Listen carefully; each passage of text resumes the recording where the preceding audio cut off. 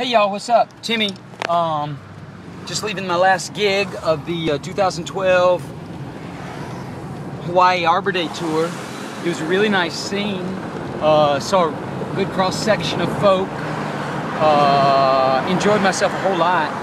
And uh, just want to shout out a couple of thank yous. Big thank you to the U.S. Forest Service. Sandy, woo woo, you rock. Also to uh, the Western Chapter ISA, Rose, your staff, Mary, oh wow, we.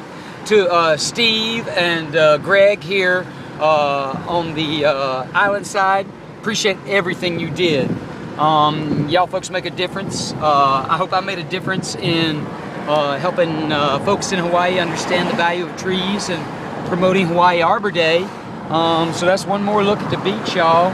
I'm heading out tomorrow and uh, just feel honored that I've been able to serve. And I look forward to doing more of the same. What I'm suggesting you do is to find your serve, get your groove. That old Bob Dylan song, you gotta serve somebody. And if you can serve somebody, you ought to make it somebody worthwhile serving. Peace out, y'all. Big fun never grows old.